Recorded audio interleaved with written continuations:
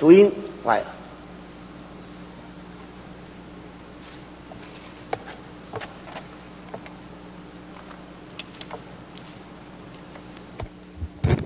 啊，主席各位，啊，工会法的修法讨论已经历经多年。那么第六届的时候修法其实已经完成，但是因为无党籍联盟没有签署而未能完成三读。那么今天三读通过，其实它意义是非常重大的。首先，我们的劳工可以自自由的组成工会，落实团结权。另外，虽然日前团结协约法、劳资争议处理法已先后于二零零七年、二零零九年的通过。